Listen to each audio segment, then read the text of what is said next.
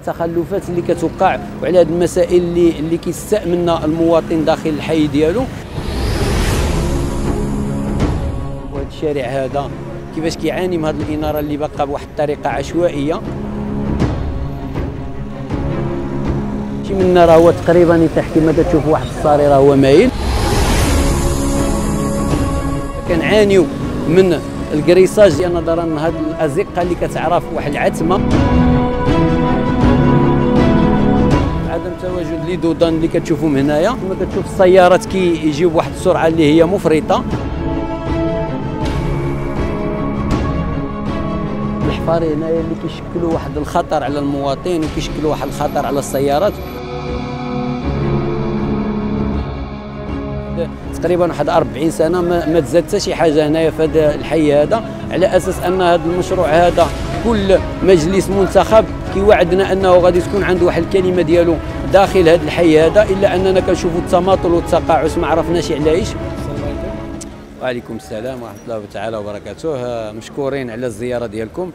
الشكر الجزيل لأن الموقع طنجاوي هو اللي دائما كنقول لنا هذه المعاناة ديال الساكنه حي بوشا بصفتنا كمجتمع مدني.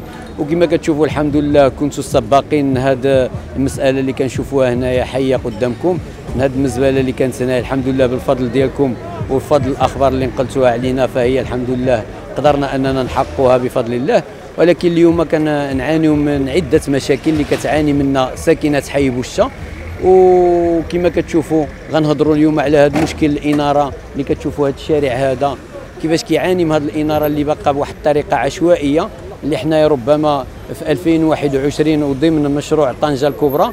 كما كتشوف واحد الشارع اللي هو رئيسي داخل حي بن ديبان بصفة عامة واللي آه كما كتعرفوا حركة السير فيه مكتظة جدا وهو كيعاني بالليل كيعاني من هذا الإنارة اللي هي ضعيفة وضعيفة جدا. وكما كتشوفوا على مصابيح هنايا وعلى آه، أعمدة ديال الإنارة باقا بواحد الطريقة اللي هي عشوائية. شي منا راه هو تقريبا تحت كما كتشوفوا واحد الصاري راه هو مايل. وكما كتشوفوا هذا الضوء الصفار راه هو ما بقاش حتى في الباديه كما كتشوف حنا باقيين كنعانيو منه الإنارة كتشكل واحد المسألة اللي هي خطيرة هو مسائل الأمن والكريساج داخل هذه الأحياء الشعبية. فكنعانيو من الكريساج اللي ما كنقدروش أننا نخليو الإخوان ديالنا أو الوالدين ديالنا أو الأبناء ديالنا أنهم يخرجوا ولو غير في واحد الفترة اللي هي السبعة أو الستة العشية نظرا لهذه الازقه اللي كتعرف واحد العتمة واحد الظلام اللي هو حالك. فكنتمناهم أنهم يشوفونا بعين الاعتبار وياخذوا هذه المسائل بمحمل الجد. هذه العقبة هذه اللي كتشوفوها العقبة ديال تسمى بعقبة بوربعات كما كتشوفوا كنعانيو من عدم تواجد عدم تواجد لي دودان اللي كتشوفوهم هنايا. فكما كتشوف السيارات كيجيو بواحد السرعة اللي هي مفرطة. وغير البارح كانت هنا واحد حادثة سير اللي مميتة واللي تاسفنا ان واحد السيدة ضربتها واحد السيارة هنايا. فكنتمناو لا تكون الإصابة ديالها طفيفة.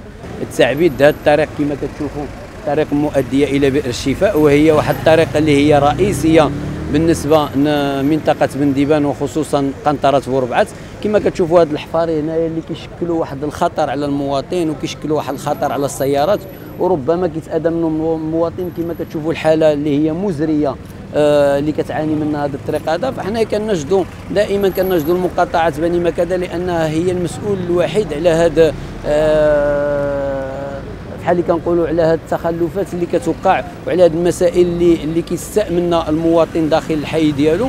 وهو اللي في الحقيقة مسائل اللي هي بسيطة هي تعبيد ديال الطريق.